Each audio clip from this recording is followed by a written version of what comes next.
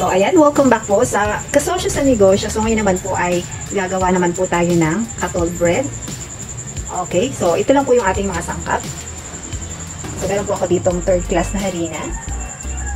Breadcrumbs, o ito yung giniling na tinapay.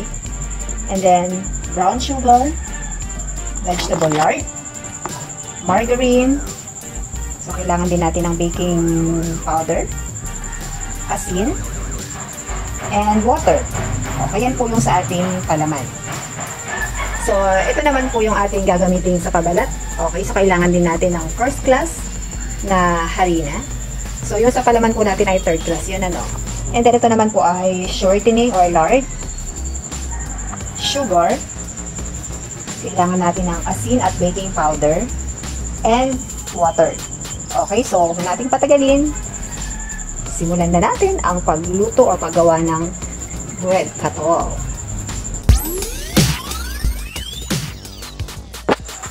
Okay, so simulan na po natin ang paggawa ng katol bread. Okay, so una po natin ilalagay ay syempre ang ating asukal.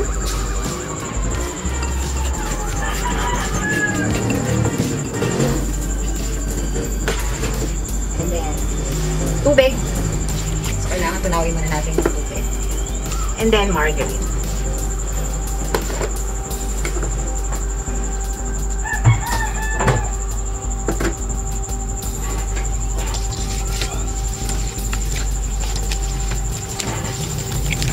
Kailangan po malinis ang kamay natin kapag magmamasa tayo. Mas maganda po kasi kapag kinamay natin kasi natipil natin yung texture tsaka nalalaman natin kung tumama ba yung asukal. Ano yung factor ba?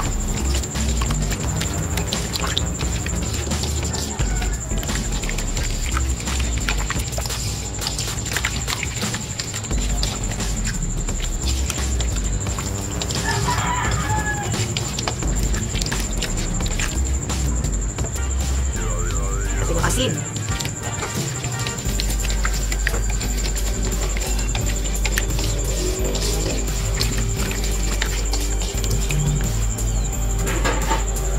Ating harina. Baking powder. at breadcrumbs. So, maglalagay po tayo ng food color.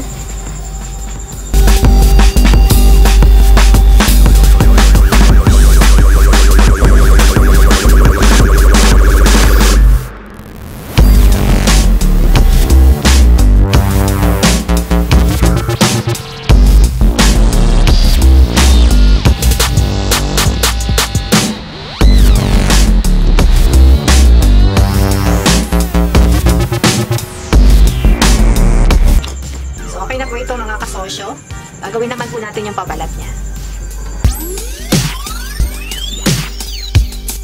Okay, so ngayon naman po gagawa na tayo ng pabalat niya.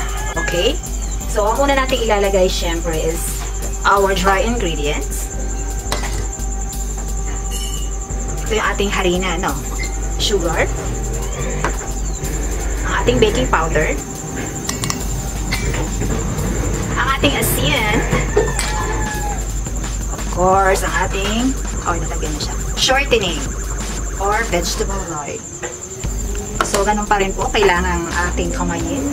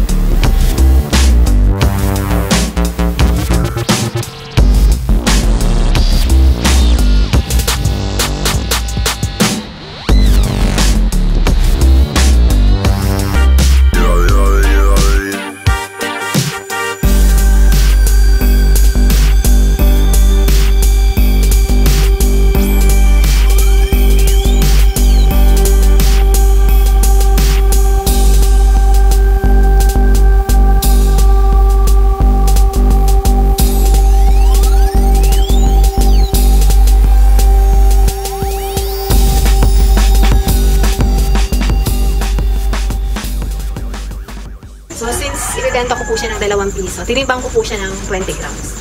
Okay? So. Maliliit lang siya.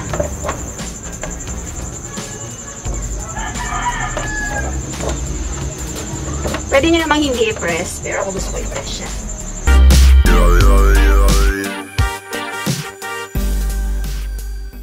Okay, mga kasosyo, sasala na po natin ang ating kakao bread. Mainit na. So, dito muna natin siya sa baba.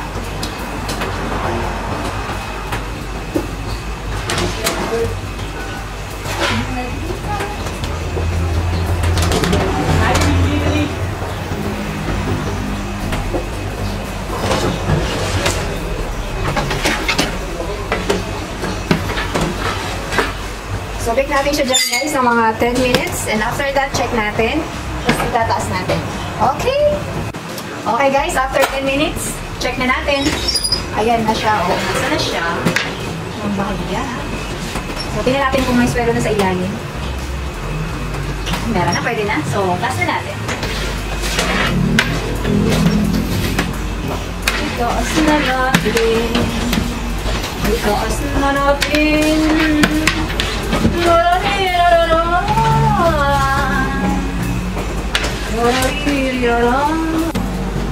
So, wait pa tayo guys ng another 10 minutes. Check natin to after 10 minutes. So, check na po natin mga kasosyo after 10 minutes. Ito na siya. Ayan. So, pwedeng pwede na po yan. Oh, so hot. Ayan, pwede na po siya. Nguya po natin. Panguin na natin.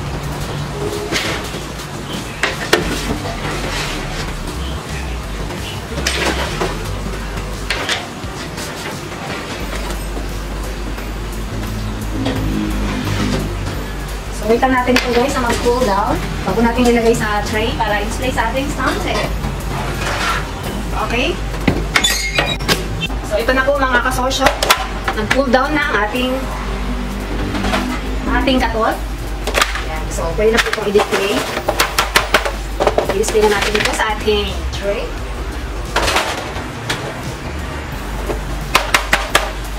Yan, gawa ng anak ko. Flower daw. Yung pera. So, ibenta ko to ng 2 pesos each.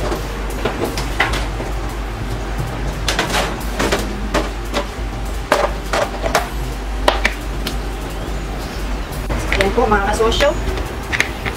Isa na naman pong recipe na pangkabuhayan ang hatid sa inyo ni Kasosyo sa Likosyo.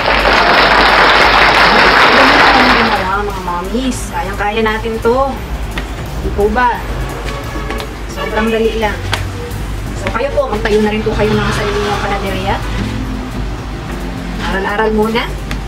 Kung mayroon po kayong gusto pang malaman tungkol sa pagluluto ng tinapay, ay abay. Subscribe, subscribe din pag may time. So, yan. So, i-display natin ito sa ating stante. Okay? So, ito na po ang ating Katol Cookies. Alright. Salamat po sa panonood. So, yung hindi pa po nagsusubscribe sa aking channel, ay abay mag-subscribe na po kayo sa aking channel para updated kayo sa mga gagawin ko pa mga videos. Tinapay man to o ulam. Salamat sa panonood. Bye-bye!